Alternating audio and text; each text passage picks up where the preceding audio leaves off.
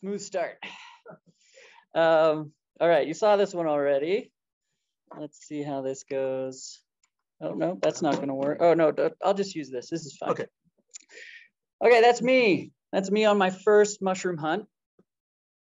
That's uh, Butyroboletus appendiculatus, the butter bolete. It's uh, very delicious, edible. Anyhow, my first mushroom hunt changed my life. And uh, as this uh, quote says, everyone knows what it means to go viral, but what does it mean to go fungal? And so after my first mushroom hunt, I had the benefit of learning from someone who had been mu hunting mushrooms for uh, 16 years at that time, and he recommended two books to me, uh, Mushrooms Demystified and Mycelium Running. So I promptly went out and got those books and then started teaching myself everything I could, learning to ID mushrooms and cultivate mushrooms and uh, adding new mushrooms to my repertoire every year. And I decided that the best thing that I could do to lessen my impact on the earth was to become a farmer and grow my own food. So I moved to Nepal and started an organic farm and a yoga retreat with my wife, Devika. And she does the yoga, I do the food, and uh, learned to cultivate mushrooms there uh, in, in large amounts. And uh, this is actually quite a long story. I, I, I did a, a sort of a fungal origin story about myself on YouTube called Gone Fungal. If you want to watch that, that gets into all the details and all the twists and turns. Um, but I just want to bring you up to date on how I got into medicinal mushrooms. So after the earthquake in Nepal, uh, I ended up uh, moving back to Colorado. We're good? Oh. And uh, I moved back in with my 96 year old grandfather who was losing his mind. And, you know, medicinal mushrooms had already been on my radar for some time. And I started reading more about nootropic mushrooms, particularly lion's mane and uh, psilocybe genus. And unfortunately for my grandfather, it was too little too late uh, and he died at 99 and a half years old. But this really got me down the medicinal mushroom rabbit hole, as they say. And um, I had been basically uh, eating lots and lots of uh, medicinal mushroom extracts uh, and stopped getting sick. And then I started feeding them to my family, and they stopped getting sick. And at this time, we lived in a household of um, six, six people, some children, uh, four generations. So, you know, flu season was like a real thing. And then I discovered that actually flu season is just kind of the perfect storm of cold weather, too much sugar, too much alcohol, and too much closeness with other people. And the mushrooms really prove to me and my family that you know this can be avoided quite easily. And I have a background in documentary filmmaking.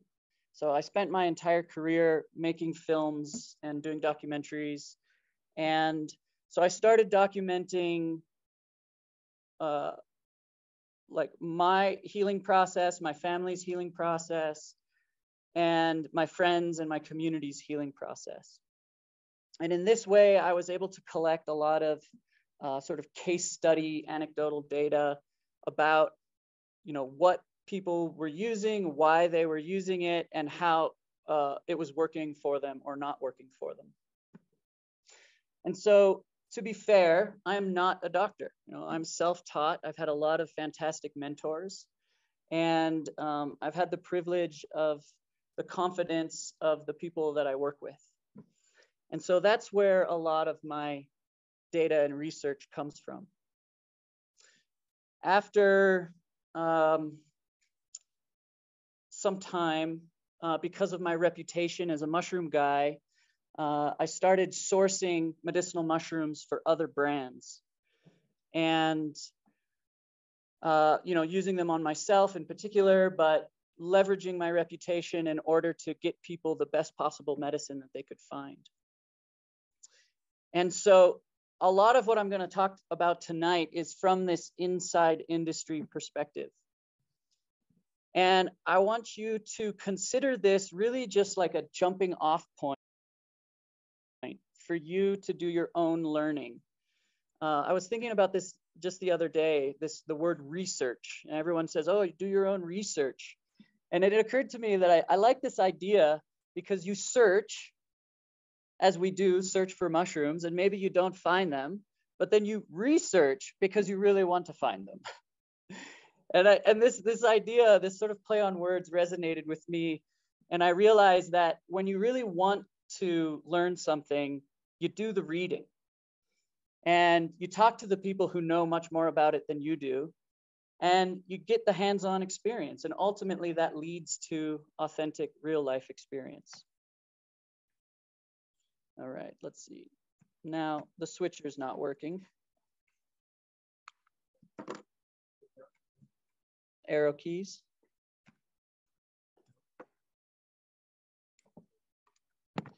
oh oh hey just touch the screen all right okay. that works okay so uh can we move that up Yes, we can. Look at that. Okay, never mind. We're good. We're good. So these are four of the main books that I use regularly. I use a lot more than these uh, mush mushroom books that focus on specific mushrooms. But Christopher Hobbs and uh, Robert Dale Rogers are my book mentors, and I've had the privilege to speak to them on a number of occasions, and it's been wonderful to learn from them. They're both herbalists and have a background in medicinal mycology. And um, so in Ro Robert's work is he, he creates books that are sort of amalgamations of research papers that then he digests and uh, um, simplifies so like you know you can understand an entire paper in one paragraph and so all of these books are um, collections of research papers that he's digested and then communicated in a more clear way. And uh, and it's amazing to to consider like basically when I started doing my own reading of research papers, I had to learn a new language. I'm constantly looking up words to find out what things mean because scientific papers are written in uh, scientific language, which is difficult to understand. And so it's a slow process, not to under, not only to find which papers to read, but also to understand what they're actually saying.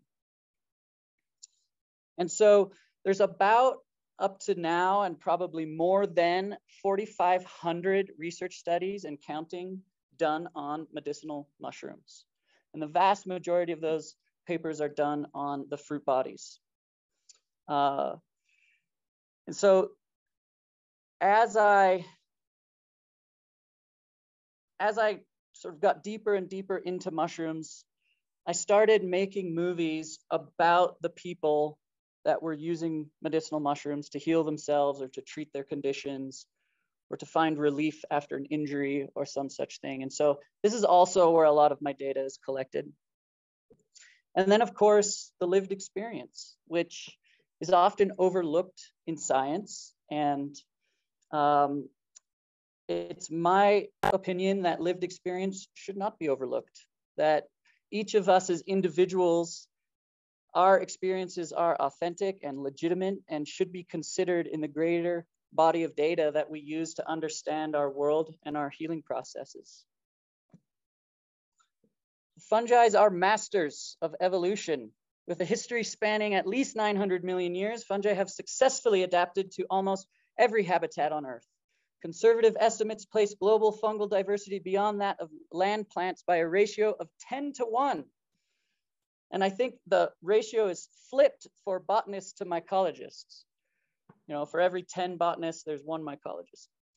While there remains some uncertainty regarding the exact number of fungal species that exist, it is clear that fungi have been afforded a unique evolutionary and environmental fitness Fungi owe this inherent ability to survive to their extensive repertoire of natural product pathways.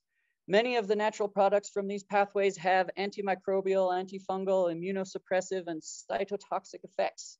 These bioactive properties enable fungi to successfully take hold of an ecological niche by conferring the ability to compete for nutrients, to deter predators, and to communicate with other organisms in the environment.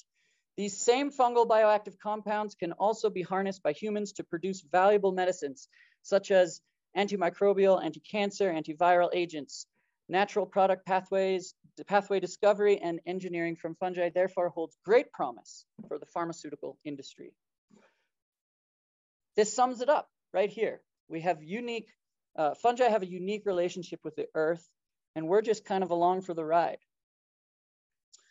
Speaking specifically about medicinal mushrooms, uh, it's my philosophy and, and other um, medicinal mycologists uh, that truly the first medicine is going out to hunt for mushrooms or whatever medicine you may be looking for.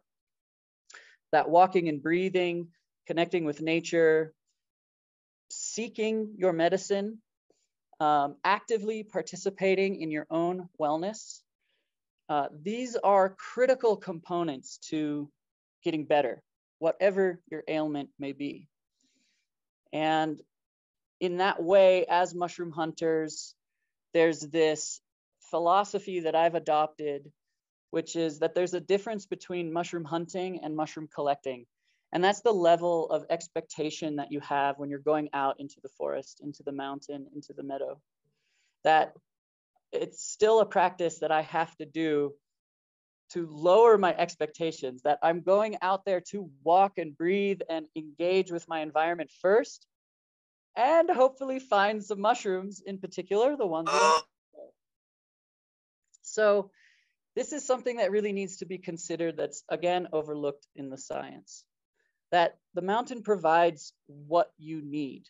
That sometimes you might be looking for a particular medicine, but actually what you find is the medicine you need.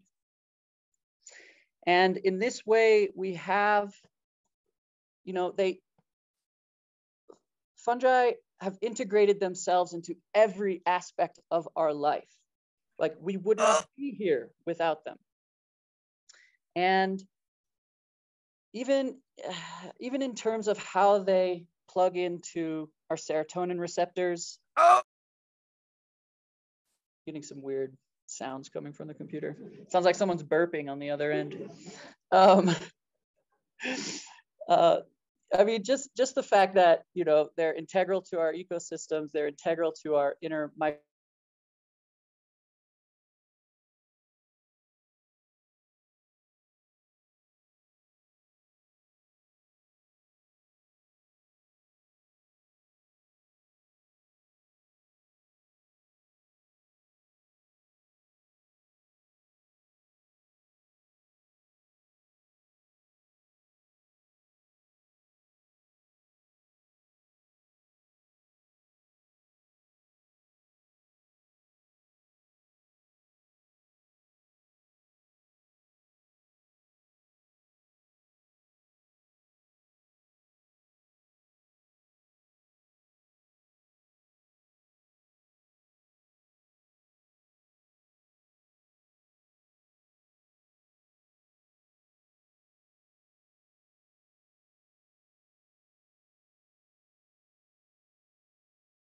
Got it.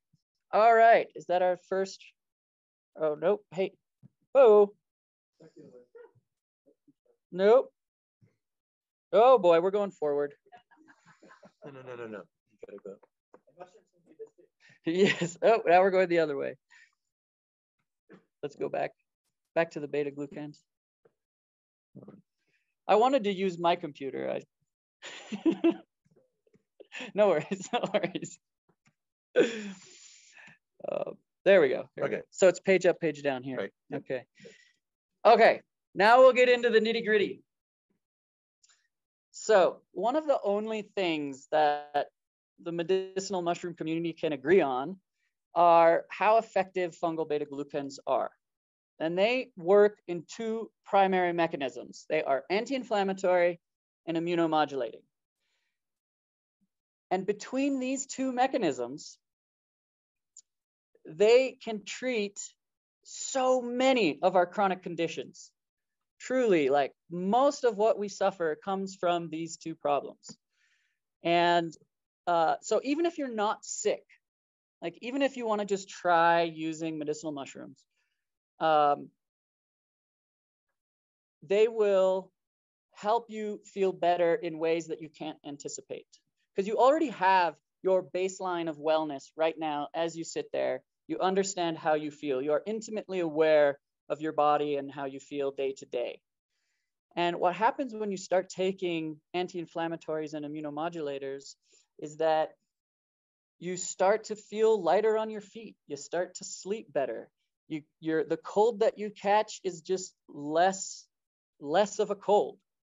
And there's just numerous examples of how these two mechanisms can just generally raise the wellness of our of our baseline um, the fungal beta glucans are found in the chitin which is the cell wall of the mushroom as you know, mushrooms can be very tough on the outside. Uh, you know, we have a number of tough polypores in Colorado, Fomitopsis schrenkii, Ganoderma applanatum, but even the softer mushrooms like uh, Comatus uh, coprinus, the shaggy mane, these have the ability to break through asphalt and push up rocks. And that strength comes from the chitin. Now, chitin on its own is indigestible. Uh, it's the same stuff that exoskeletons are made out of in insects and seashells and that kind of thing. Uh, and so in order to access those beneficial beta glucans, you have to break the cell wall. And the way we do that is by um, cooking, um, like pressure cooking with water or alcohol. And of course, drying helps that process along as well. Um, the primary uh, beta glucans that people are interested in are 1,3 and 1,6. And uh, these are basically just beneficial sugars. And so when you get, uh, you know, like a, uh, um, a mushroom extract will often be sweet. And I'll talk more about that later and what some red flags are around that flavoring. But these are soluble fibers. And that's really important because uh, the fibers are the, um, basically they're prebiotic. So they help you digest everything and absorb nutrients from what you're consuming. And this is really fundamental and most people, like this is the best prebiotic fiber you can get in your diet, especially uh, for people that like hardcore meat eaters or people that don't eat enough vegetables like eating more mushrooms can really affect your general health, even just gourmet and wild mushrooms because of these soluble prebiotic fibers.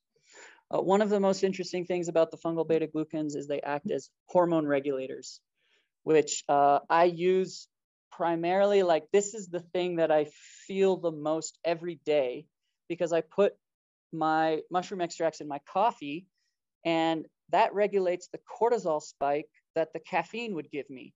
So I have a coffee experience that doesn't have a come up or a come down, and there's no jitters. And now I can't go back to coffee without mushrooms. And that, you know, touches on and explains a little bit about why mushroom coffee is so damn popular now. That it actually creates a better coffee experience without disrupting the flavor in any significant way. Um, ergosterol, I'm gonna, I'm gonna go through these next few slides fairly quickly. Uh, this is fascinating uh, compound that's uh, found in mushrooms. It comes from ergot.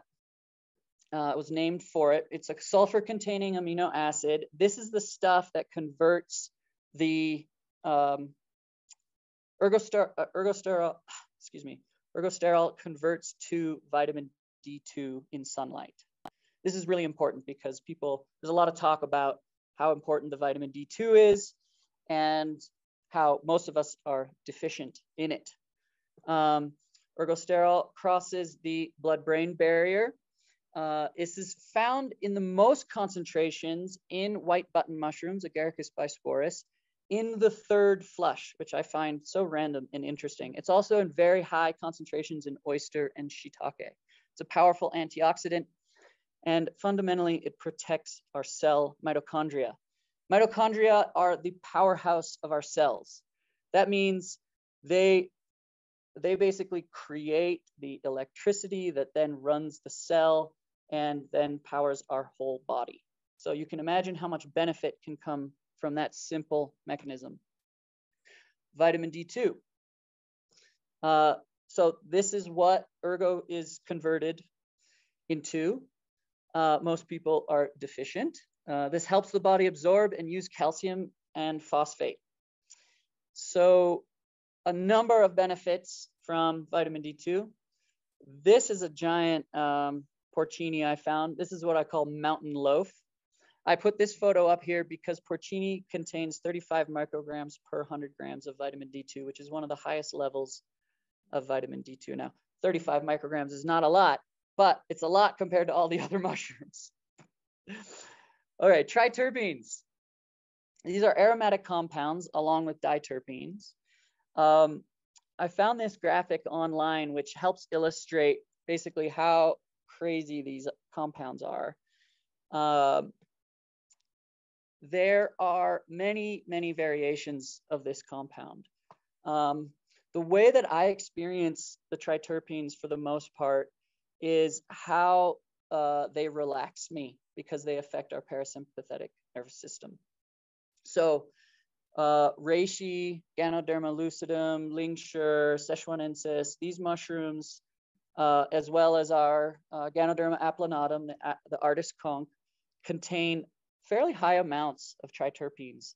And that's what we're going after when we do an alcohol extraction. Um, so tinctures of these mushrooms are going to be more beneficial than tinctures of other mushrooms, for example, like cordyceps, which I'll get into later. Uh, so, I mean, you've probably seen a bunch of reishi products out there that say like calm or soothing or you know they're trying to use these words that aren't um, going to be red flagged by the fda and that's why it's because of these triterpenes that help relax you and improve your sleep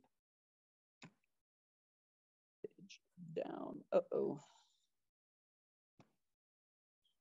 this is just uh, one short list of the triterpenes found in Ganoderma lucidum in the spores only. So this is just to illustrate that there are so many of these. There, there's thousands probably, and we probably only know a few hundred at best.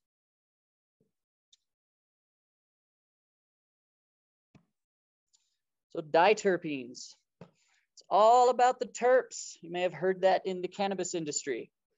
And it's true for functional and medicinal mushrooms as well. So this is a lion's mane, Hericium erinaceus. Uh, this is the one uh, that's most famous for its diterpenes, which are in particular the erinacines and the hericenones. So these are um, fat soluble aromatic compounds. And the way, like, if you're if you're getting an extract that's cooked too hot, you're destroying those beneficial compounds. And so it's critical that you're doing uh, low temp water extracts and alcohol extracts on this mushroom or the mycelium, which I'll get into later. Um, but the erinacines are the nootropic compounds that you know, promote neuroplasticity, neurogenesis. They have the nerve growth factor. Um, they prevent and destroy amyloid plaque. And that's why this mushroom and the the medicines around this mushroom are so popular right now. This is the top selling mushroom uh, and mushroom extract across the board globally. It's crazy, particularly, uh, sorry, it's not the top selling mushroom globally, it's the top selling mushroom in the West. And it's because everybody thinks they're going to get smarter and their brains are going to work longer if they eat a lot of this mushroom or use these extracts. Um, and it's important they cross the blood-brain barrier. Um, there are more erinacines. This is where most of the research is on the erinacines. And these are found in higher concentrations in the mycelium. And the hericenones are found in higher concentrations in the fruit body. And there's some research to show that when the mycelium fruits, those erinacines are then transferred to the fruit body. So from a cultivation perspective, you can't really have the mycelium and the fruit body if you're going after the erinacines in your medicine. And this, this is important for later discussion when I talk about products that have that are mycelia, myceliated grain or fruit body products. So as a caveat, one study of amyloid beta plaquing associated with Alzheimer's disease found that when uh, cut open, 70% of them uh, uh, contain the human herpes simplex virus 1. This suggests the leaky brain, often associated with leaky gut, acted to protect itself from viral invasion and form the plaques in defense. As one author noted, it may be amyloid beta is the fireman, not the fire. Surely something to think about going forward into future research, prevention of potential cures needs to be explored. So what this means is that one of the big hypes around lion's mane is that it prevents and destroys amyloid plaque. But what this brings up is why is the plaque there in the first place? This is a degenerative brain disease. And this author argues that the plaque is containing the herpes virus and protecting the brain from that virus.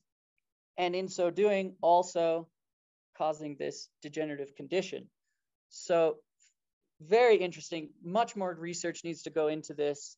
And um, this is just to consider that everything you hear about medicinal and functional mushrooms, there's often a caveat to it.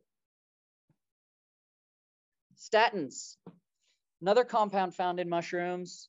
Um, lovastatin is the primary compound found. Reishi and oyster have super high concentrations of it. It's primarily used in, medic- in uh, Western medicine as um, a way to lower cholesterol. And uh, I've seen it work with a number of my clients in like shocking ways. Um, the fundamental difference between the statins found in mushrooms and the ones used, like the synthesized statins, are the safety. So, synthesized statin drugs cause inflammation of the liver, which can cause flu like symptoms. And generally, they're quite dangerous, that you have to be super careful if you're taking them. Um, whereas the fungal lovastatin is quite safe and won't cause these kinds of side effects. Um, and yeah, so there's about 800 studies that show there are a risk to our health, these synthesized statin drugs. So again, another beneficial compound that's found better, like more safe and better in mushrooms than what the uh, Western uh, medical industrial complex will tell you. So this is a list of all the most like more compounds, more beneficial. I'm not going to get into all of these, um, but as you can see, there's all kinds of good stuff in there. Um, so let's see. I don't want to talk about all these. Um, it's a lot. It's a lot. Let's just say though, there's lots of good stuff and you should be eating lots of mushrooms. Okay, so common functional mushrooms. Now I put functional in quotations uh, because I, the FDA really won't let me say medicinal. That there is still a debate about whether mushrooms are medicinal.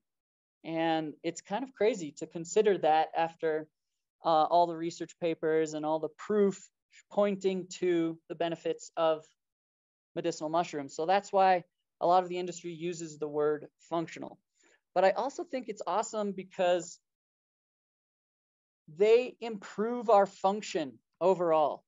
As I was saying before about baseline wellness, like improving your baseline wellness means you're going to improve overall. And that just makes us more functional humans. And I so there's another sort of uh, another interpretation of the word that resonates with me. So reishi is one of the most heavily studied mushrooms that we know about. Uh, it comes in many forms. The vast majority of cultivated mushrooms on the planet are Ganoderma lingzhi and Szechuanensis.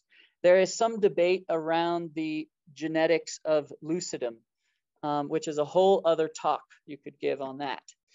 Um, reishi truly is like the everything mushroom. It's often touted as the mushroom of immortality, which comes from some old um, traditional Chinese medicine texts. And uh, there's some stories about, you know, it being a rite of passage to go and hunt the mushroom and find it on the mountain and how difficult it is to find. And chewing on it fresh can give you a buzz. Um, this is a fantastic mushroom. It's a beautiful mushroom. In TCM, it's used it, um, primarily around like blood health, heart health, liver health. Um, but as you can see, these are all uh, medical claims that have been verified by research. And I use this mushroom primarily to manage my sugar cravings, um, which might be the result of the candida living in my gut and controlling my cravings. I'm not sure about that, but sometimes it feels like that. I have a number of clients that use this for allergies during our, um, uh, when the cottonwoods start fluffing out and pollinating uh, to great, to great effect. Uh, I have a number of people that use this for their rheumatoid arthritis. Uh, when someone comes to me and says, "Oh, I have this problem, and which mushroom should I use for it?" Uh, and I haven't read any research, or I'm not sure which mushroom to suggest, I suggest this one because it works in often miraculous and surprising ways. And I can't explain it, but you know, it does everything has all kinds of benefits for us. And so if you're wondering, oh, which mushroom should I try? Mm-hmm. Like if there's any one that you're curious about using regularly, I recommend reishi. Turkey tail is also, um, Trametes or Coriolus versicolor is also a very heavily studied medicinal and functional mushroom. Um, there's, it's again, similar to reishi in that it's used for all kinds of things.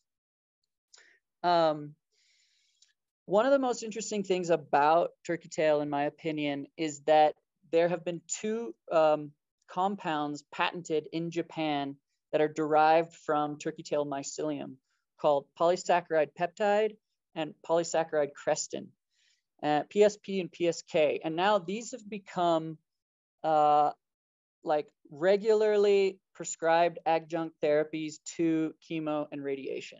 So if you're getting cancer treatments in Japan, you're also getting these this PSP and PSK to help you survive these intense medications like radiation and chemotherapy. And one red flag with turkey tail, and this is true for reishi as well, is that when you're taking like cancer sized doses of this, it can thin your blood. So one of the few contraindications is with uh, blood thinners. If you're already taking them, you shouldn't be taking massive amounts of turkey tail or reishi.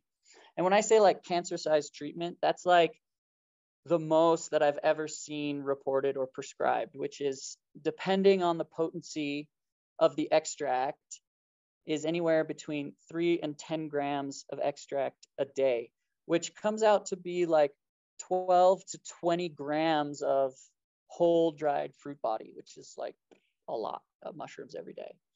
Um, so chaga, another very famous ancient medicinal functional mushroom. However, what we use is the sclerotia of the chaga, which is this mass we see on the exterior of the birch tree and some other species of tree, but primarily birch. Um, this mushroom, again, has been used for centuries, probably millennia, across uh, Eastern Europe and Russia, across Siberia, uh, almost all of the commercial chaga in the world now comes from Siberia because they have a network of foragers that can collect enough to supply the demand. Um, among all of these amazing things that it does, one of the most interesting things for me, like what stands this mushroom apart for me, is the melanin, uh, which is very good for the skin and the hair. It protects us from UV radiation. Uh, there is a Japanese paper that came out a couple years ago that looked at a triterpene in a, a lano, lanostane type of triterpene found in chaga that's five times more effective than minoxidil, which is the active ingredient found in Rogaine and Keeps, which are the men's hair regrowth medicines. And so the research was prompted by um, the, the reports from Mongolia that um, Mongolians used it to treat their hair and their baldness. And lo and behold, it works five times better than what's uh, you know, available in the Western medicine market. There is quite a lot of debate around chaga and its sustainability. Um, because it is a pathogen to the tree, um, there's rumors about people like cutting trees down in order to harvest one sclerotia. Um, but any sustainable harvester knows that is um, relying on this kind of thing for their income knows that you keep your sources alive as best you can. So I don't believe those rumors about um, cutting trees down. However, the world consumes so much chaga that we may not have it for much longer. And this is interesting and a complicated debate within um, this particular section of mycology. Um, it can be cultivated uh, however, it's missing the betulinic acid, which which is one of the beneficial compounds that's found within. So you can grow it on birch, but for some reason it doesn't have all the qualities that a wild harvested one would have. Um, so, you know, for me, I bathe in my chaga now. I put it in the bath and I come out feeling silky and nice. And that's the way I like to take it. Sometimes when I feel called to use it, uh, I'll put it in my coffee. But I basically cycle through all these different mushrooms all the time. And I, and I choose sort of intuitively what I'm going to use for a week or two at a time, uh, unless I get sick, which still happens from time to time. Cordyceps, Cordyceps militaris. This is a very popular medicinal mushroom. Um, one of the things that makes cordyceps really special is the 3-deoxyadenosine, which is um, an analog to adenosine. And it's actually missing an oxygen molecule, which makes it also an antiviral. And so this stuff, this 3-deoxyadenosine, uh, feeds our mitochondria. It increases O2 uptake in the blood. So it's really sold as like an endurance mushroom. And in traditional Chinese medicine, it's used as a sexual tonic. And it increases sexual vigor. And I can attest to that absolutely. You know, after about three days of using this, um, you know, between like two to three grams every day for three days, I'm feeling very frisky. And, you know, it's awesome. It feels like mushroom power. That's what my wife says. Oh, you got mushroom power. I'm like, yeah. So I eat a lot of this one but I cycle on and off this one as well. Like any supplementing, you should be cycling on and off generally. And that just gives your body a chance to catch up with all the extra compounds. And one of the most interesting things about this mushroom to me is that there was a, a study done on mice where it helped reset their circadian rhythms. So not only does it provide energy from a cellular level, it also improves sleep generally. And um, and so just to put that into context, like caffeine doesn't make us feel energized. It prevents us from feeling tired. And that's an important distinction. And this is a photo of uh, one of the teas that I make. One of my favorite recipes for cordyceps of the fruit body is I make a hot water extraction. I do a crude tea let it sit for 10 minutes. I drink the broth and then I fry the mushrooms up with an egg. And I feel like I'm getting a lot more out of my mushrooms when I do that. And I use both sides of it. And they're delicious. They're lovely, delicious mushrooms, and they're easily cultivated. Um, and for those of you who don't know, this is an endopathogenic fungi that grows in the US, primarily in the East Coast and some, some in the Midwest. And so it targets insects. And um, the most famous cordyceps uh, well, until that show came out recently, is uh, Ophiocordyceps sinensis, the caterpillar fungus, also known as Yartsagumba or uh, Yarsagumbu, which is another, um, that's the Tibetan um, pronunciation. This is the Nepali pronunciation.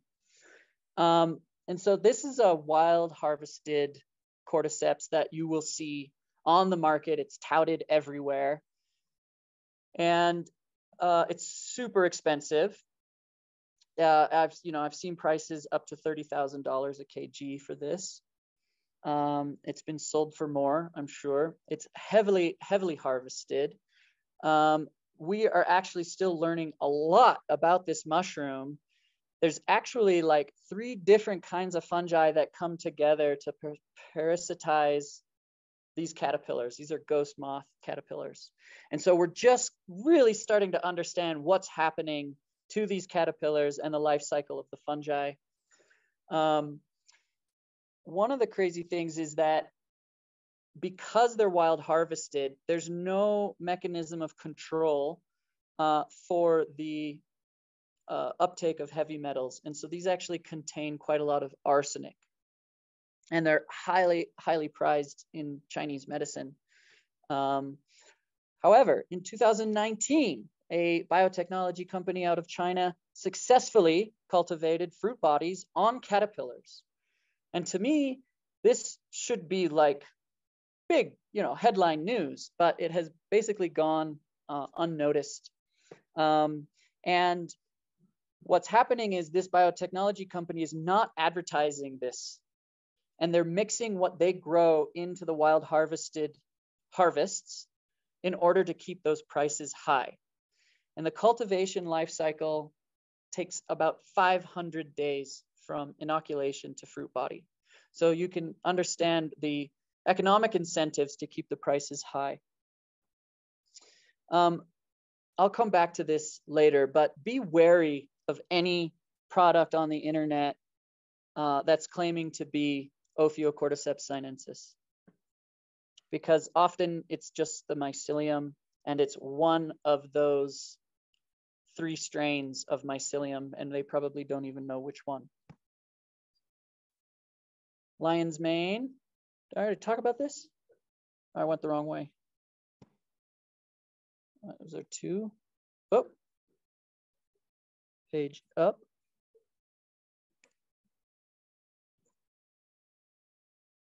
Okay, yeah. Where did I have two lion's mane slides? Sorry about that, guys. Agarikon, amazing mushroom. Um, heavily touted by Fungi Perfecti um, as the most potent antiviral known to science. But really, it's a true antibiotic. I mean, it's anti everything, as you can see. Uh, it's very rare and precious.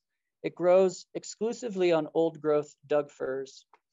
Uh, this is a specimen that my brother and I found uh, almost six years ago, and I'm still using this mushroom to make extracts, the same fruit body that I'm holding in this photo.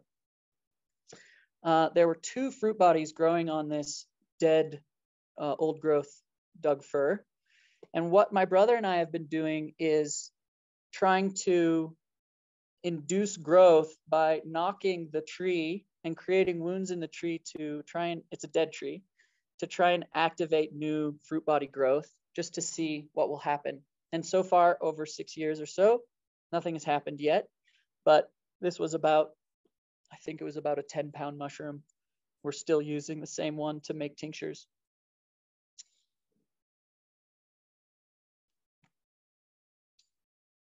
Uh, Agarikon became really popular um, for COVID when, you know, there were people who wanted to use natural antivirals and um, not the vaccine.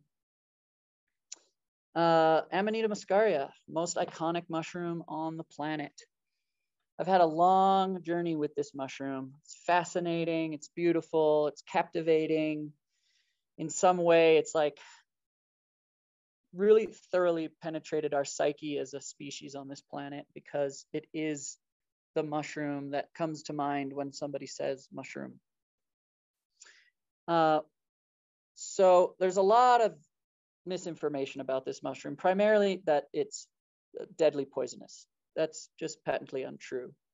If you do eat one fresh, for example, you will have diarrhea and vomiting and feel like shit, and that's not death. Um, you might want to die, but it won't kill you. Um, so we have a lot of these in Colorado. This can be easily processed into a gourmet edible by boiling it and throwing the water out and boiling it again and throwing the water out to be extra careful. And that works because ibotenic acid is water soluble and it's destroyed in the heat not destroyed, but it's drawn out of the mushroom in the heat. And so by boiling it, you can literally remove the toxins and then it becomes an amazing, delicious edible. The cap tastes like kind of fatty fish and the stem is kind of like a nutty chicken and it's just perfect. And so the way we use this mushroom is by converting that ibotenic acid into muscimol. And um, this requires a triple conversion. This recipe is actually found in the Rig Veda. And so you dry it to a cracker crisp, then you uh, simmer it for 20 minutes. You remove the material, you keep your tea, and then you ferment the tea with a lactobacillus. So you can use yogurt or kombucha. I use kombucha. And if you keep track of your ratios of like gram weight to liquid volume, then you can then you can keep track of your dosing. So I make a medicine that's like um, where a tablespoon of this kombucha is a dose. So I start with about 30 grams of dried fruit body, but I'm not going to get too deep into that. Um, so uh, muscimol crosses the blood-brain barrier, which is important. It's a GABA agonist, so it works on the same receptors that alcohol does. Um, it's a really powerful anti-anxiety medicine. I've tested it on a few friends who have debilitating anxiety, and literally within minutes of taking a tablespoon of this stuff, they're relaxed and okay. And to me, this is amazing. Um, it really is a great sleep aid, deep, deep sleeps, crazy dreams. Uh, full disclosure, you know, my journey with this mushroom has been for many years, and um, I managed to poison myself with it um, by getting a hot dose. Basically, I used to nibble on the caps when I was mushroom hunting, and I would have these ecstatic, euphoric experiences being guided or led to new mushrooms all over the mountain. And I was called to this one mushroom that was a particularly dark blood red. And I took a tiny sliver of the cap and ate it, ate it. And like three, four hours later, I was rolling around in pain, exploding out of both ends. And then I had like insane fever dreams all night long, you know, like the dark night of the soul kind of experience. And after that, now I approach approach it with extreme reverence and caution. Don't use this mushroom recreationally anymore. This is truly medicine only for me. And I'm working on a whole film about that. Uh, so it's also uh, topical pain relief. There's a number of companies out there that use it. Uh, you can buy solves with it. It's highly effective. I have a number of clients that use it to quit drinking to, to success. So when they get an alcohol craving, they take a tablespoon of the kombucha, the triple conversion, and their craving for the alcohol goes away. And if when I used this a, a few years ago, I did an Amanita ceremony on the solstice uh, with some friends, and we ended up using about five tablespoons because we thought that would be a big enough, you know, ceremonial dose. And ultimately, you know, it felt like being drunk for the most part. Uh, and didn't really feel it like how strong that dose was until I got home and I was in that familiar environment. When you get home, you're like, oh, well, I'm higher than I thought. And and then again, I went through this crazy fever dream experience. And I thought maybe using it ceremonially would change that. But that was not the case for me. So proceed with caution if you decide to create a relationship with this mushroom. Um, you know, do it with reverence. Um, that's all I can really say about it. Uh, but it is a powerful and effective medicine for those that need it. Oysters. Everyone loves oysters. Um, this is uh, this is another one I use to manage uh, my sugar cravings. Um, and there's a lot of data to support how it manages our blood sugar and our cholesterol.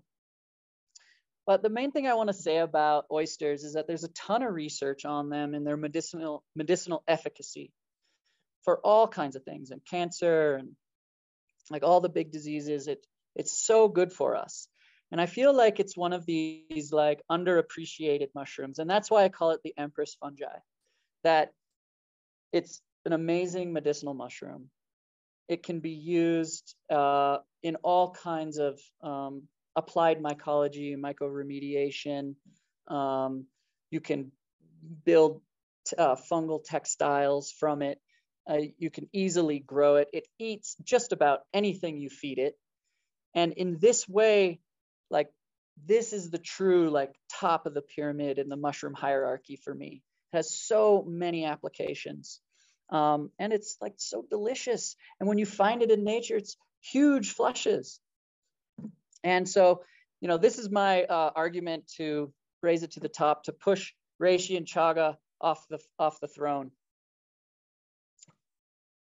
Okay, maybe some of you are waiting for me to talk about this one. I don't know. Um, very popular mushroom now, has been for a long time, but even more so as our laws have changed in Colorado.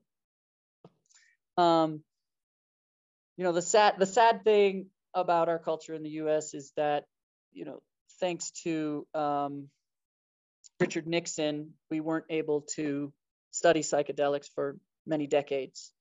And we've lost a lot of ground in that which is really, really unfortunate. And now, uh, thanks to the Johns Hopkins death study, the door is open again, particularly around psychedelic research and magic mushrooms. Um, so basically, we are now researching psilocybin and psilocin and the other, you know, the entourage effect of the active alkaloids within the psilocybe group um, for everything.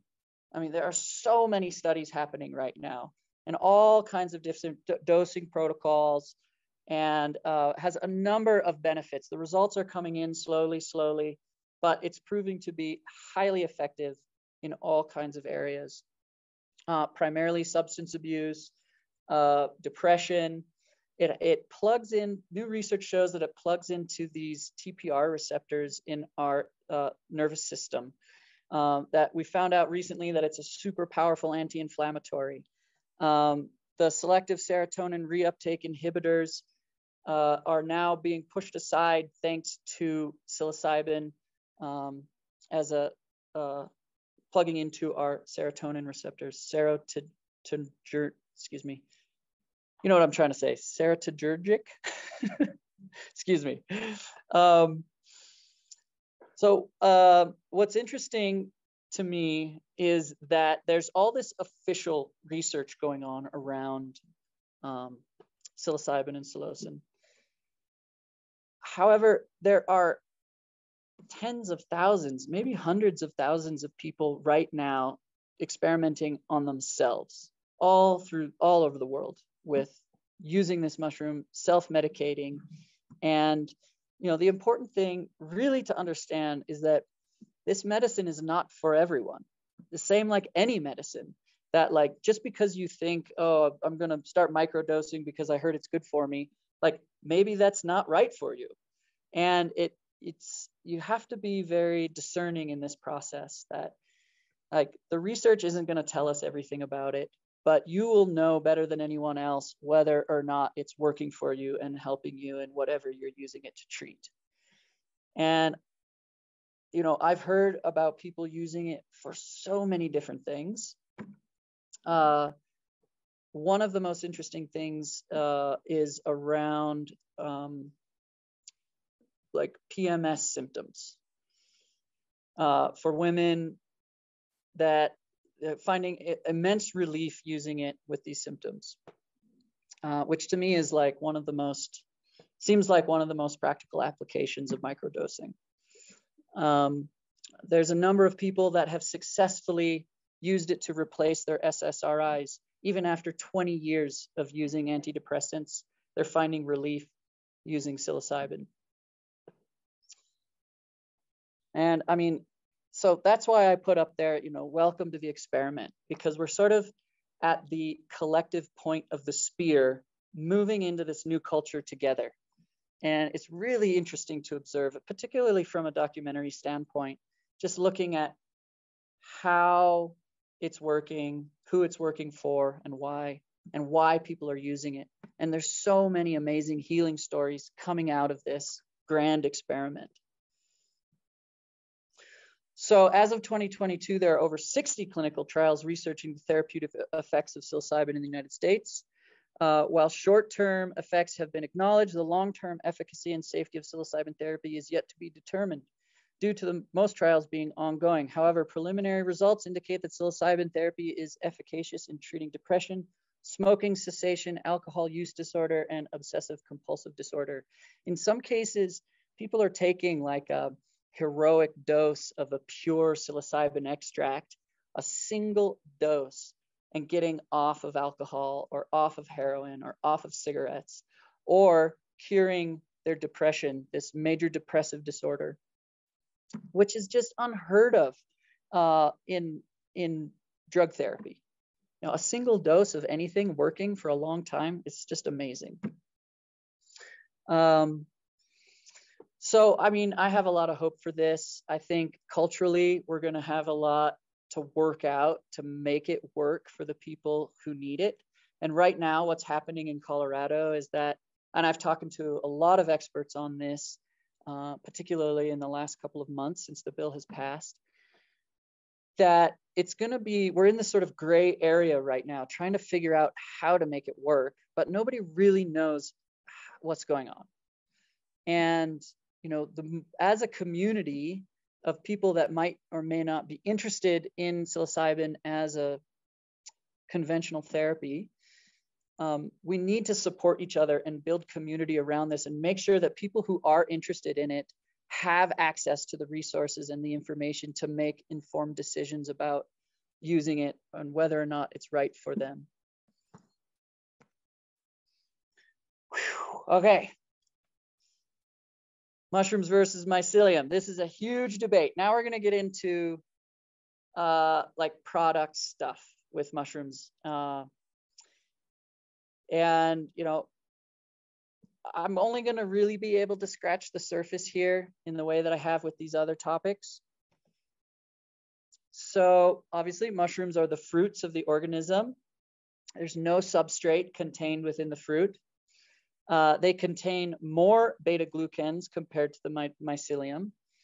Uh, they have a different set of chemical constituents. They contain spores in some cases. And the vast, vast majority of the research done in medicinal mushrooms is done on the fruit body.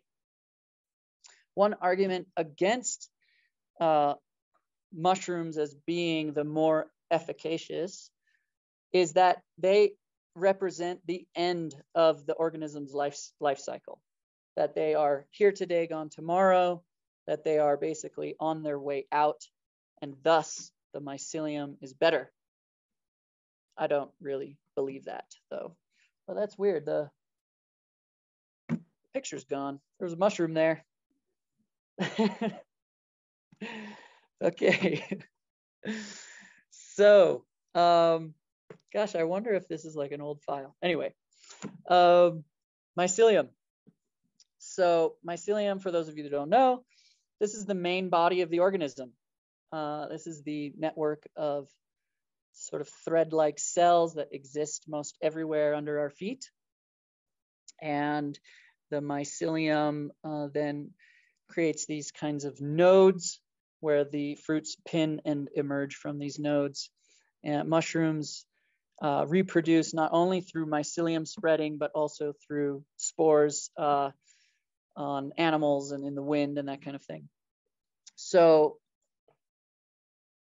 uh, yeah, so the, the main thing is that mycelium needs a substrate to grow on. It can't, it can exist in water and the water and the sugars and the nutrients within the water can act as the substrate. Um, but mostly it's, it's grown on grain or wood. And what this matters because in commercial mushroom farming, um, it, it, it means that the mycelium only makes up about 25% of the mass, and 75% of that mass is the substrate, the grain, or the wood. Uh, it has a different set of chemical constituents. As I said before, it's actually very, very low in beta glucans. On average, it's somewhere between 1% and 3% across the primary medicinal mushroom strains. Um, but then in some rare cases, it has higher concentrations of these survival compounds that are antifungal and antiviral. Um, basically, those compounds that give it uh, an edge in competing in its environment. And so those are the active compounds that we're looking for in our medicines. So it's much less expensive to cultivate. Basically, you're removing an entire step in the cultivation process by not allowing it to fruit. Thus, you have a cheaper uh, cultivation process. Um, contrary to what you may see being advertised, mycelium products are not mushroom products. And this is easy for us mushroom people to understand, but it gets really difficult for non-mushroom people to understand.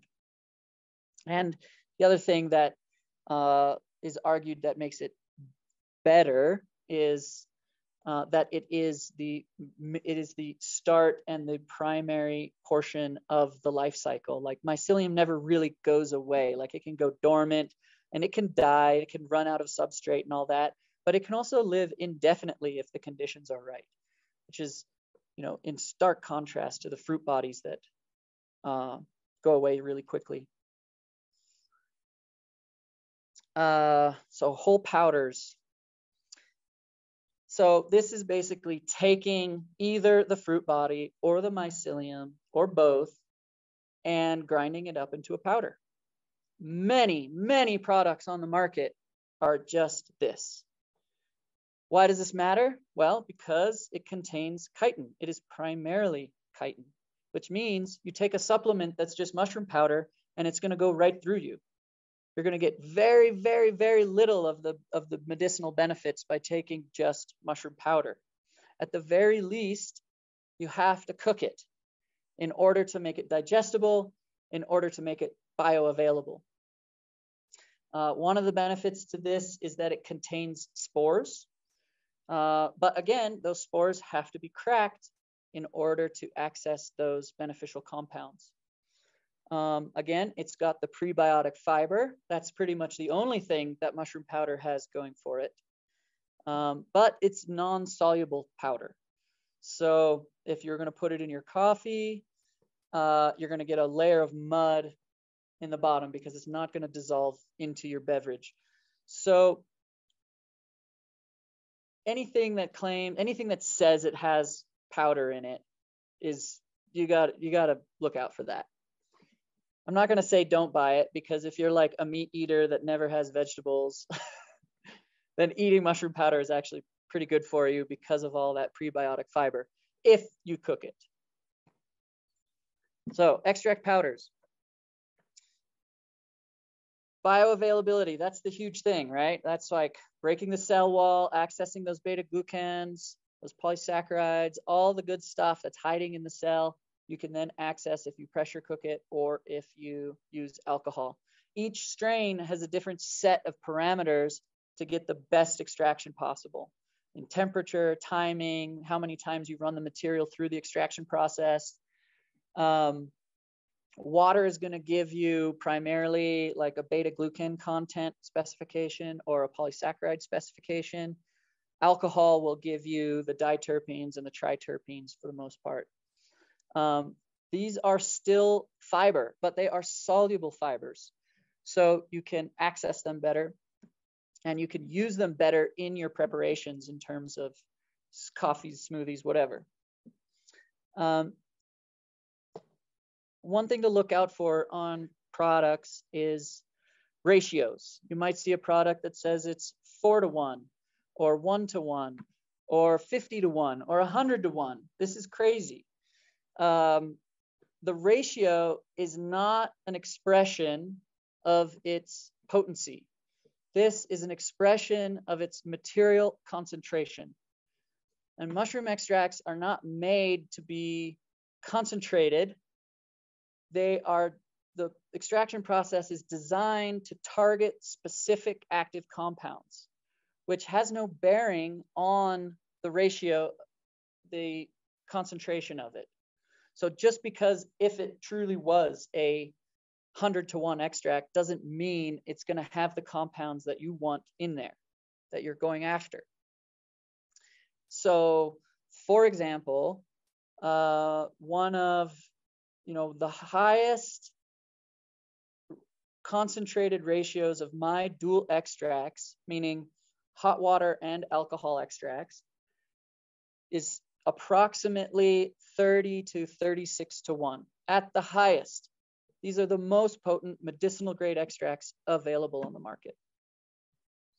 Uh, and so beware, just beware of claims around ratios. This is something weird that happens in the West. This is primarily only seen in the US, Canada, and Europe, where like everybody wants to know, like, well, what's your ratio? I'm like, it doesn't matter. Spend a lot of time explaining that it doesn't matter. Uh, Maltodextrin, there's a lot of fear around maltodextrin. It's fairly inert sugar that's used to prevent these high potency extracts from clumping up. So basically, if you have these high potency powders without a uh, another powder inside, it will ultimately clump up and then turn into resin. And this, depending on the humidity in your area, changes how long this actually takes. However, maltodextrin can be dangerous at high levels. I read a research paper that was like seven grams per kilogram of body weight is where it starts to make you feel gross, like tummy aches and stuff like that, which is a, a lot, a lot of maltodextrin. But look out for it. Like it should be labeled. Many times it is not. Um, the better powder used to prevent these high potency extracts from clumping up is just unextracted mushroom powder.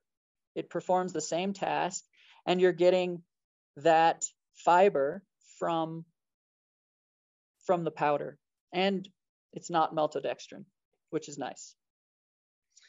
So uh, let's see.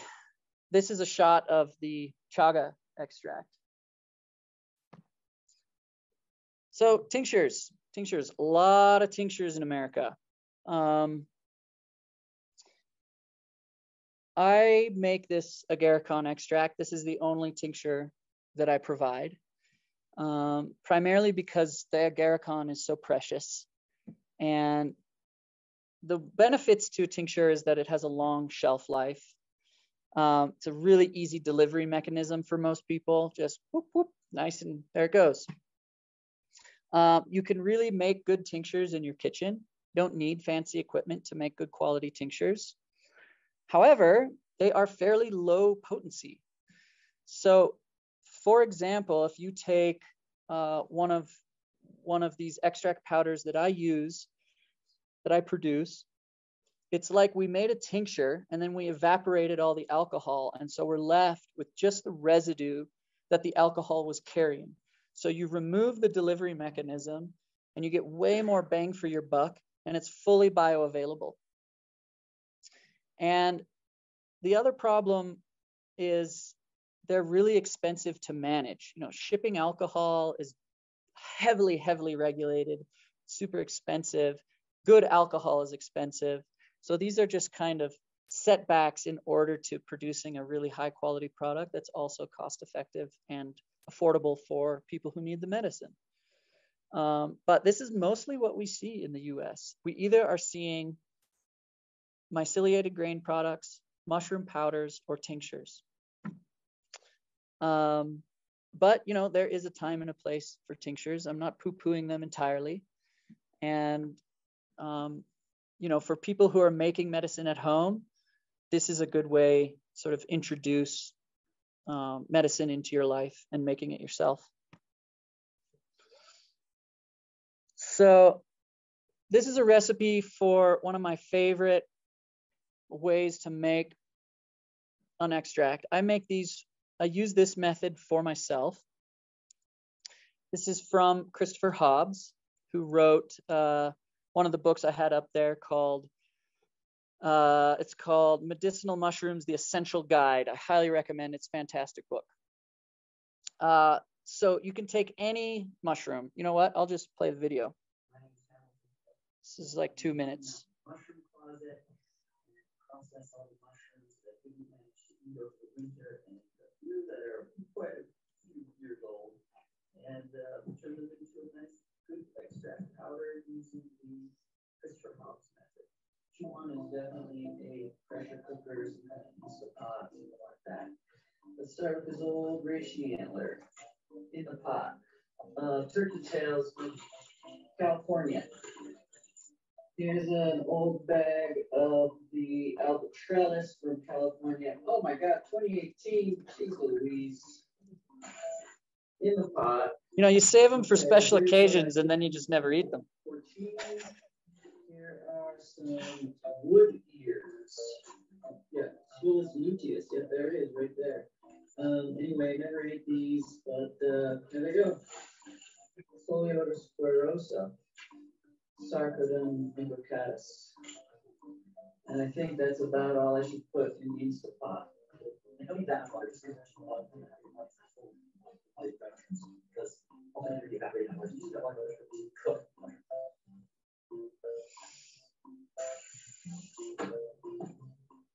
Oh man, it smelled so bad. Blender. Thick sludge here.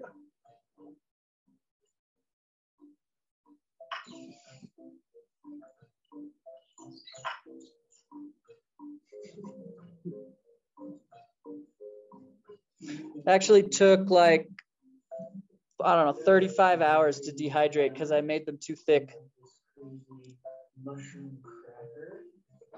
This is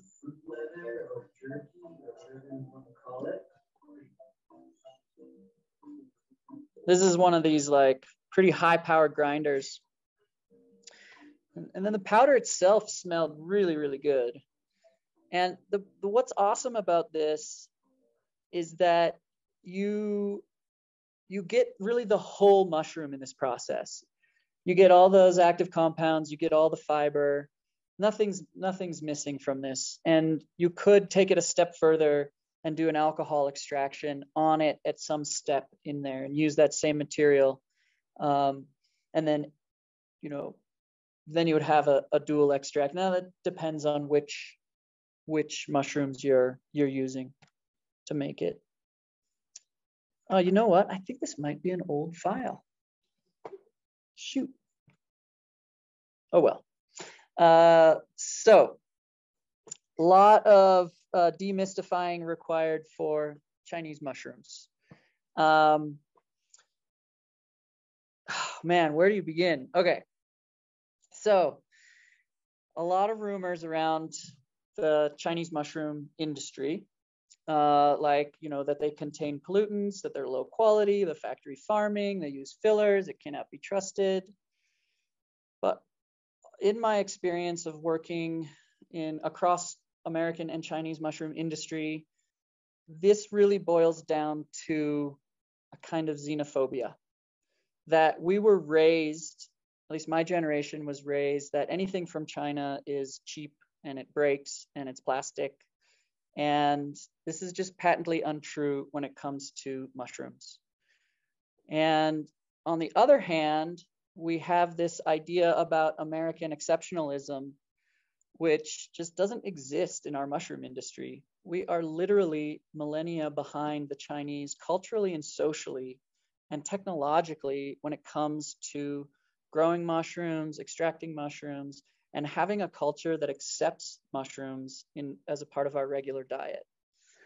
And so one of the common rumors around um, like polluted Chinese mushrooms is that they're absorbing toxins through the air pollution. Um, and the truth is, Chinese mushroom farms are primarily in rural areas, very far away from urban centers. And they they exist regionally, like they exist where specific species will grow the best. So there's like an area where reishis are grown because the conditions and the environment in that area are best suited to reishi. It's the same for shiitake and the black wood ear. And um, there's like two villages that grow exclusively lion's mane mushrooms. And those are primarily produced in uh, indoors as well as cordyceps. Like the farms that do exist in urban areas are indoor farms where they are heavily protected through HEPA filters in order to just be able to grow the mushrooms. So this idea that air pollution is affecting the mushrooms is just kind of ridiculous if you take a minute to think about what's required to grow mushrooms, um, which you know contamination is the primary factor in keeping your mushrooms clean. They won't grow if they're covered in trichoderma. Um, low quality. Now, what does that even mean, right? Like, um, you know, is it filled with maltodextrin? Maybe, there are mushroom brands in America that use 90% maltodextrin because they don't even know that the maltodextrin is in their product. That they're told, oh, this is mushrooms, and the company that's buying them is just accepting that, which is just kind of bonkers. Uh, factory farming. Yes, there are large farms that exist in China but not the way that you would imagine like a box store that we have here. It's not like that. There are thousands of farms distributed across China, and there's no monopoly on the mushroom growing. This comes from a very rich and long culture of growing mushrooms, and and they're just widely distributed. That like anybody with enough low amount of capital can start a mushroom farm there and have everything they need to, to make it happen. And it's a good business. China produces 95% of the world's mushrooms and consumes 85% of the world's mushrooms. Like the American mushroom industry barely even registers. Um, like any big industry, multi billion dollar industry, there are bad actors. It just goes with the territory of any industry. Uh, and so, like, knowing your sources is really critical to having a good product across the board. And American industry is no exception to that as well. We have crappy producers of everything, just like any other industry would have low quality production or actors within that industry that produce low quality things. So China is not immune to that either in their mushroom industry, but there are good actors producing high quality products.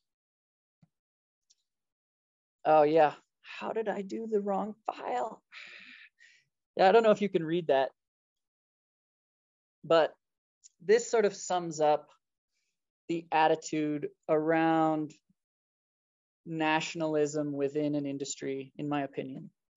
This is my opinion, of course. This does not reflect the opinions of this club.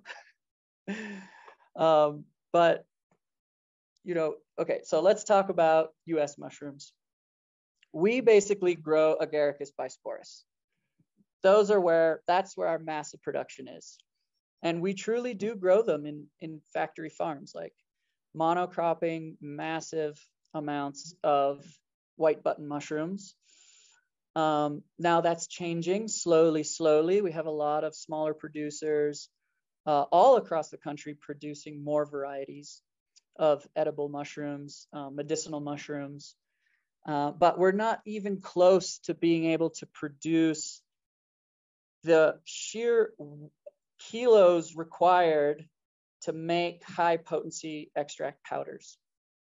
That's why our industry is primarily focused on tinctures and unextracted powders and myceliated grains, because these are significantly economically more viable to produce in America.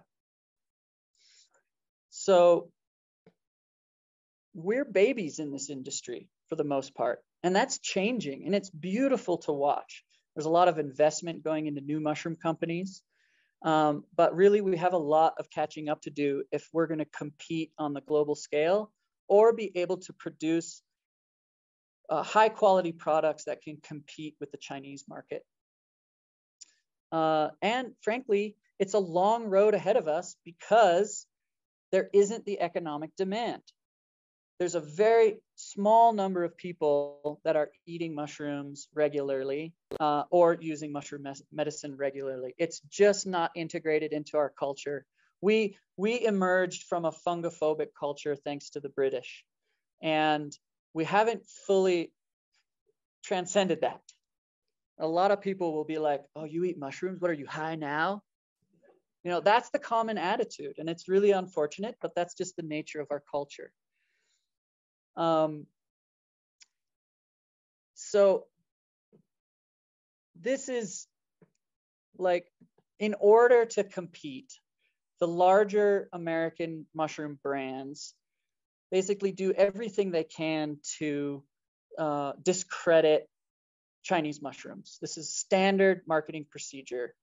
Um, even the most, the biggest trusted brands in America um, will will poo-poo any mushroom that comes from China and make up stories about why it's bad and what who not to trust. Um, even even I've heard, I'm not going to name names, but I've heard people even try and discredit the medicinal eff- efficacy of beta glucans because there's very few beta glucans in myceliated grain versus the fruit bodies. And so it's just an attempt to try and make uh, one product look better than the other for the most part.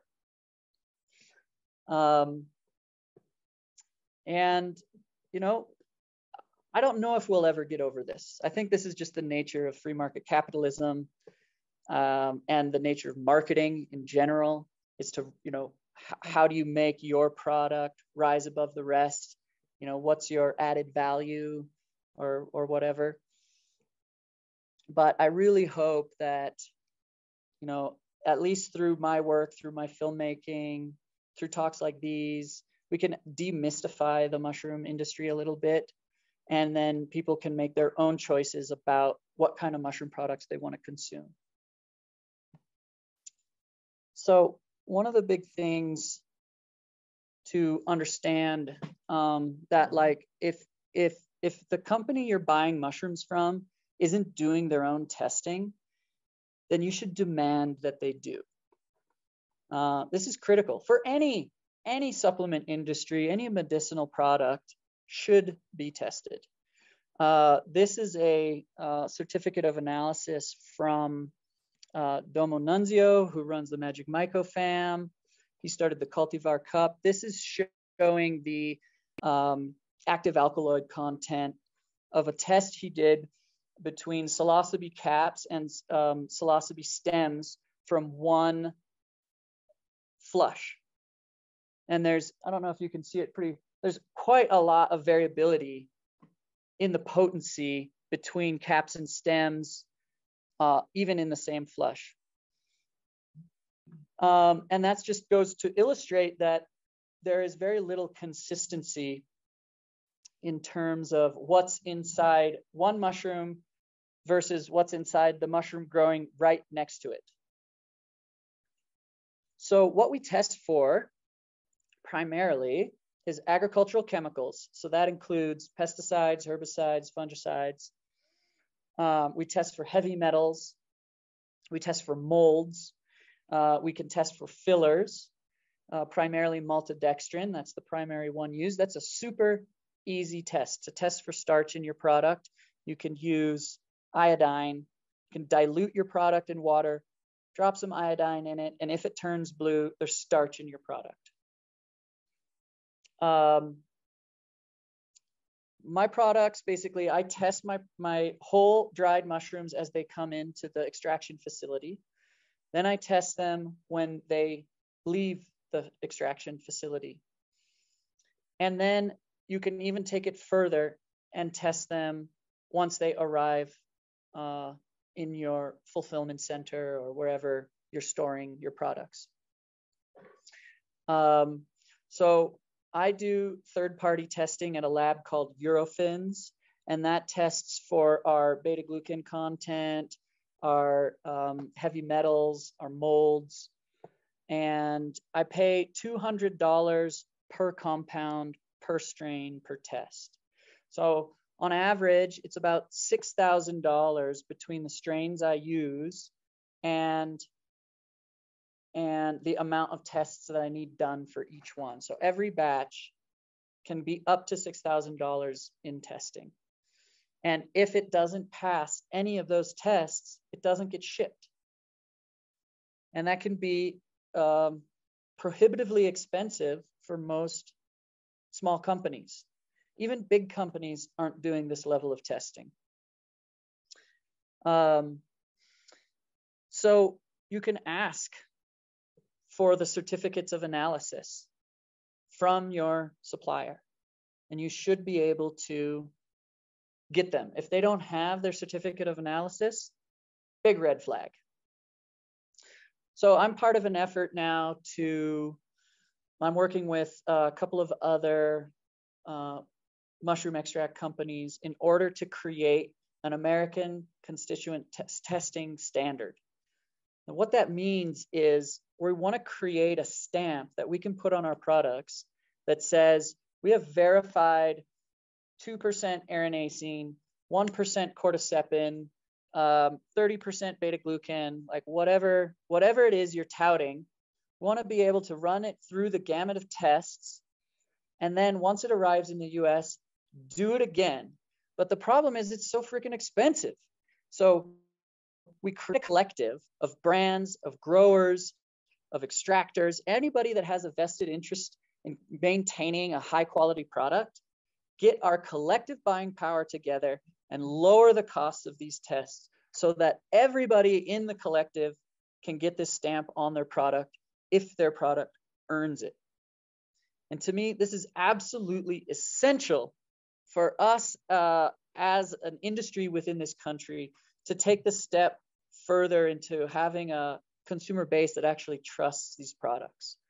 And that can be a product from anywhere. As long as it enters our testing protocol, you know, we can verify that it has what it claims to have. And in that way, creating a new standard of quality for mushroom products in the US, which does not exist yet. All right. yeah, it's we have a long road ahead. It's it's, a big job. So this is what a certificate of analysis looks like. Uh, a lot of them are formatted this way. Uh, this is just an example of one of the dual extracts that I use. Uh, of note, you can take a look at um, the beta glucan and hericenone erinacine content, um, where the specific, oops, oh crap, Aye, aye, aye. Okay. Um, this is where, so like basically we, we, we have a target specification for our extract, right? In this case, um, you know, the heron, heron, uh, and erinacines, we were look, we were targeting 1.2%, which is already very high. But then it tested at 3.02%. So we're exceeding the target compound. Um, and then if you look down, we have the microbiological compounds, molds, yeasts. Um, and then, you know, up here we have the contaminants like heavy metals. Now it's important to understand about heavy metals. All mushrooms bioaccumulate heavy metals to some degree. It's just the nature of how they exist in their environment. And so what's awesome about cultivating mushrooms is you can control the substrates in order to keep those heavy metals very, very low, which you, you don't have the benefit of doing with wild harvested mushrooms.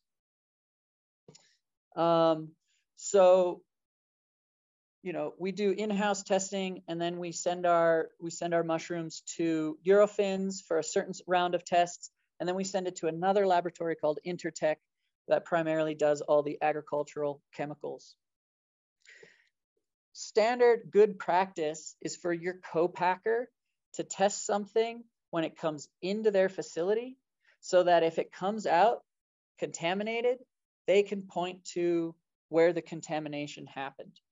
But this almost never happens in our industry, in our co-packing industry. Um, and the way we keep track of that is batch numbers for the most part. But if you're using a co-pack like you better demand that they do testing because if there's anything wrong with your product, it's on them to make sure that everything in their facility is clean. Um, I've had products, I've had particularly around turkey tail, come in to uh, the extraction facility and test clean. And then when they are finished doing the extraction process, they test positive for, you know, a pesticide or something like that. And this is a major bummer, right? Because at some point in the process, it got contaminated. And so this forces us to do uh, better practices across the board.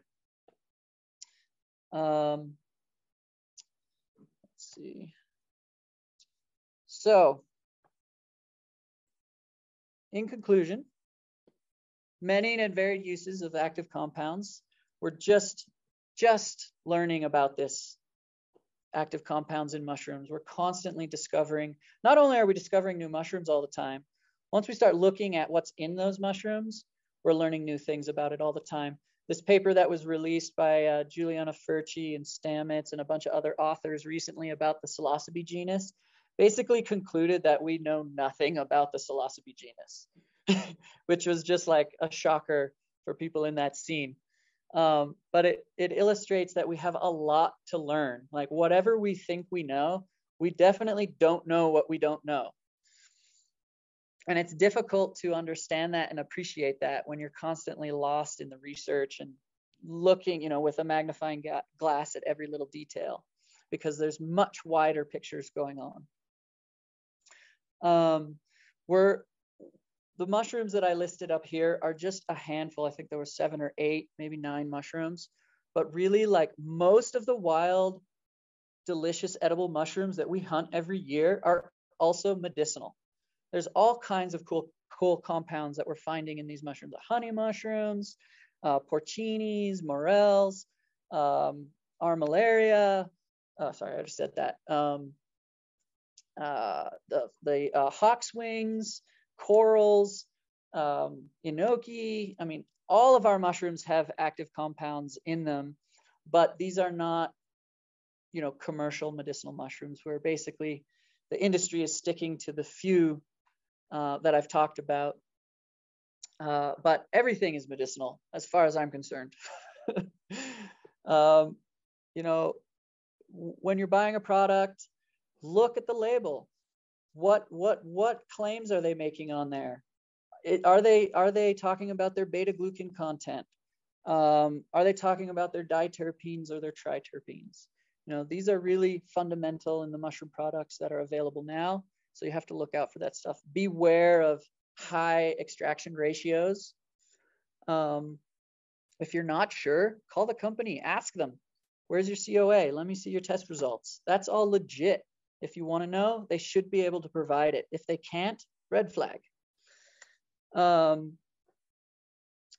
yeah, so go outside, look for your own medicine, learn about it. I think that's really the best thing we can do for ourselves, our minds, our bodies. You know, participate in your own wellness, and then you're more you're more active in the healing process. So that's my website, hamiltonsmushrooms.com.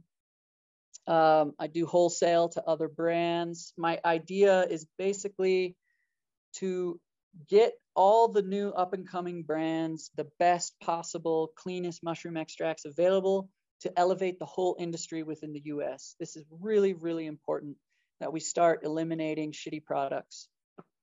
Uh, my direct to consumer product is there. That's the body blend.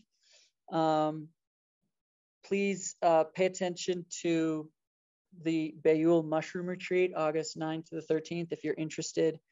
Uh, this is like an in-depth uh, retreat, you know, forest to table meals, guided forays, presentations from American and international top mycologists. Last year we had David Arora, Christopher Hobbs, and Peter McCoy come and present. In October, we're going to do the French Alps foray, uh, where we do guided forays. This is more of like a mushrooms foraging 101 course in France with amazing chefs. Um, and please follow me, watch my films. I'm on most of the platforms. Um, my films are all free on YouTube. My latest film is available video on demand uh, on um, it's about psilocybe azurescens. And uh, you know, I'm really interested in building community around mushrooms all the time, particularly around storytelling, medicine, retreats, events, festivals, whatever, whatever. I'm into it. I'm into it. I want to talk to you all. I want to know you guys. I'm down for collaborating. Um, I, it's just you're my people. um, and you know, like, thank you so much. And I don't know if we have much time left for questions, but I'm ready to take them now.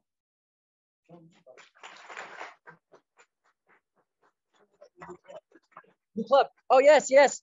I forgot to mention, uh, we just started the Western Colorado Mycological Association based out of Carbondale. And, you know, if you know anyone in the Western Slope, tell them to look us up. We're a brand new fresh mushroom club, and uh, we'd be happy to have you. And this is to scan my, this is for my website. You can sign up for my email list, basically to stay up to date on all the things I'm doing, right? I've tons of films. My, I've got a bunch of films uh, like cooking right now. Um, I've got products on the back table over there. If you're interested, I'd be happy to uh, sell you mushroom extracts. And there's free stickers there. Um, one of the cool projects I'm working on is the Cold Fire Project with D Jeff Ravage and the and Dr. Lauren Czaplicki, who co-authored his paper, which is using fungi to uh, mitigate fires in the forest. We call it cold fire because fungal degradation help like basically does the same thing as firewood in a natural environment.